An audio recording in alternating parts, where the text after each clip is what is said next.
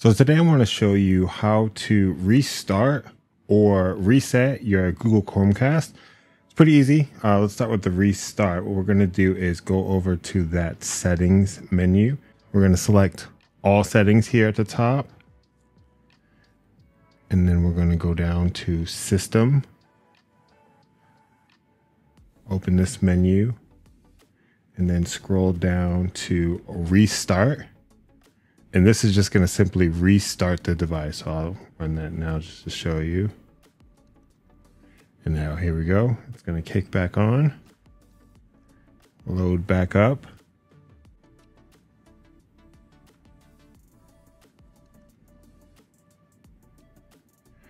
Perfect. So it's a quick restart. So if you're having some issues, you know, it's always good to do a, a, quick restart.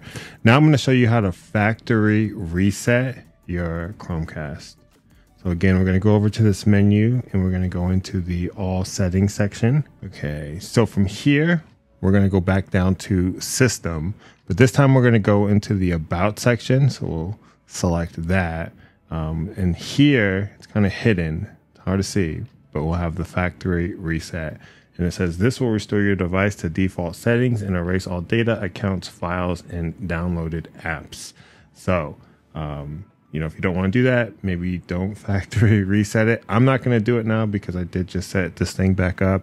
Um, but guys, if this was helpful for you, if you could like the video, subscribe to the channel, check the description for more resources, and we will see you next time.